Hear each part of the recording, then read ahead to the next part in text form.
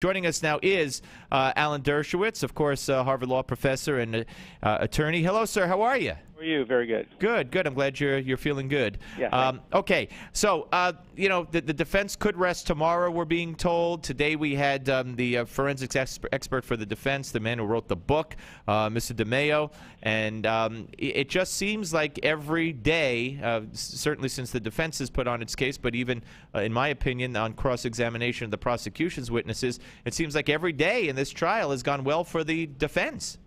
Well, the big problem was the original decision by the prosecutor to overcharge. Uh, sh- she is a corrupt, politically motivated uh, person, the prosecutor, who decided to overcharge for political reasons uh, and to hide the evidence that uh, showed that it was not a second degree murder uh, from the court when that originally happened. She engaged, in my view, in unethical and unprofessional conduct. Uh, you may know that when I originally made that charge, she filed a complaint with Harvard Law School uh, against me, and I said I was going to repeat those charges uh, because they're true. And it's her decision from day one that has messed up this case because this is not a second degree murder case. It never should have been charged as a second degree murder case. And now I suspect what the prosecution is going to do is they're going to try to get a compromise verdict by asking the court to charge manslaughter. And uh, since the case has already been tried on second degree murder, it will confuse things even more to have the case go to the jury on a manslaughter charge. All right, so now I'm even uh, now I'm confused even more, only because uh, on Friday uh, I heard the uh, defense uh, make a motion to uh, throw out the second degree uh, charge, Right. uh, and uh, and the judge refused. So why would the, so so uh, explain that to me? Is that a kind of an automatic uh, refusal? Would it have been a? It's almost yeah. automatic. Okay. It's very rare for a judge to throw a case out, certainly at the end of the prosecution's case. They always want to wait to hear the whole case. Um, I suspect she won't throw out the second degree murder. She'll charge both second degree murder and manslaughter in the hope that the jury will come to a compromise verdict saying, look, it's really not second degree murder, but the idea of a guy going free when there's a dead 17 year old who was unarmed doesn't strike us in the right direction. So although the law doesn't really justify a manslaughter prosecution here, we're going to come out with a with a compromise verdict. That happens very often in these kinds of cases. That's why in many jurisdictions compromise verdicts aren't permitted, and that without the defense agreeing, you can't charge manslaughter if you've tried a case on a theory of second degree murder. Florida, it's apparently permitted. And so that's very likely what will happen. And there is some possibility that the jury will come back with a, a manslaughter verdict. Now, of course, in the Casey Anthony case, they tried that gambit and it failed. And the jury came back essentially with nothing because of the overcharging. You'd think Florida prosecutors would learn their lesson.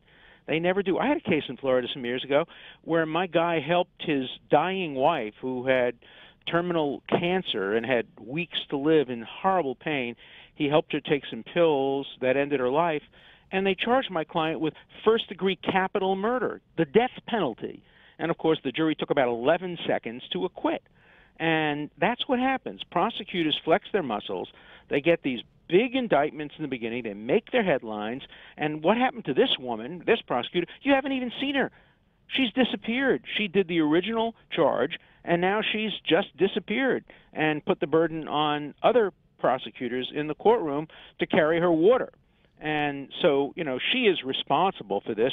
And if there are going to be any consequences in terms of uh, rioting or anything like that, we all hope there won't be. It will squarely be her fault. Well, that's what I was going to ask you. And, and do you, what what do you think should happen to her as a result? She should be removed from office. Um, she should be charged with unprofessional conduct. She should be disciplined by the bar and disciplined by the court for withholding exculpatory evidence, for overcharging, for raising expectations, and for acting in an utterly unprofessional manner.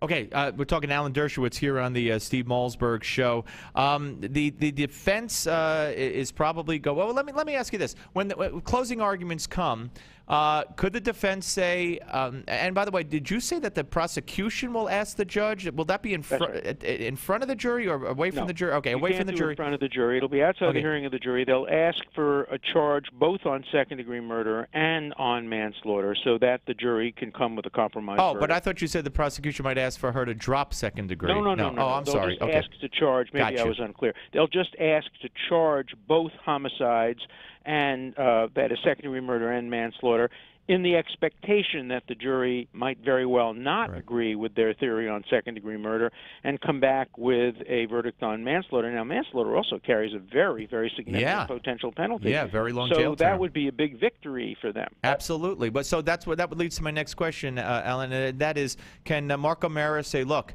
you know, uh, I, I think we've shown you without a doubt that uh, that there's no second degree, no ill intent, blah blah blah blah blah.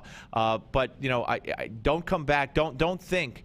That you had. In other words, is he allowed to say, I, "I hope you don't settle on a compromise. Don't think that uh, you know you got to punish him somehow because the facts don't show it." Could he do that or no? There are two ways he can do that, and the answer is yes. One, he could make a motion uh, asking the court not to grant the government's request for a compromise verdict manslaughter charge. He can do that, uh, saying that in a case like this where they overcharged, it they shouldn't be rewarded by being given a compromise charge. He can do that in front of the judge, not in front of the jury.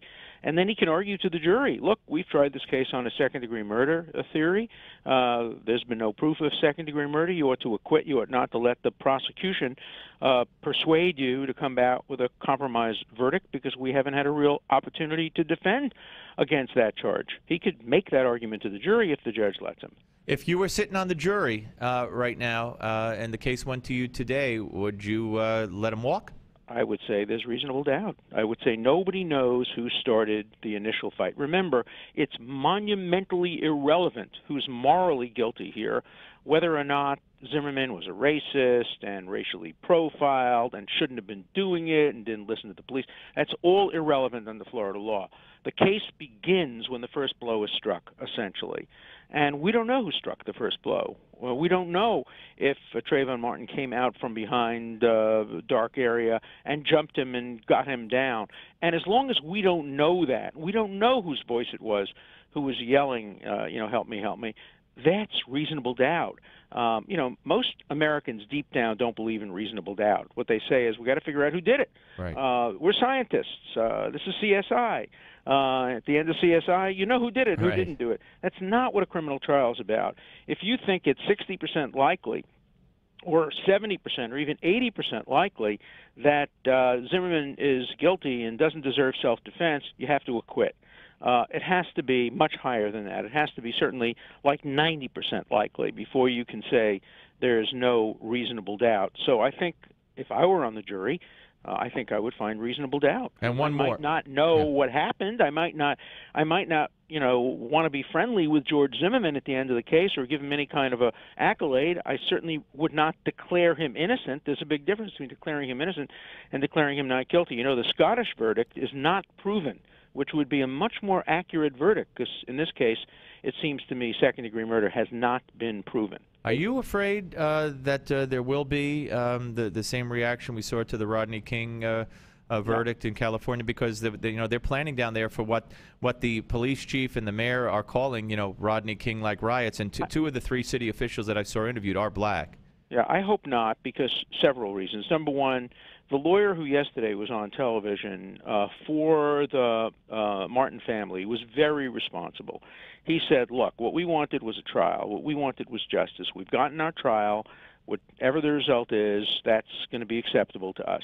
I think the Martin family are very decent people. They seem to have, uh, uh, in ev- every way, uh, indicated that they would not want that kind of a response. So, unless some irresponsible people come from out of town to try to stir something up, I don't think we're seeing a Rodney King type uh, response. And by the way, this is not a Rodney King case.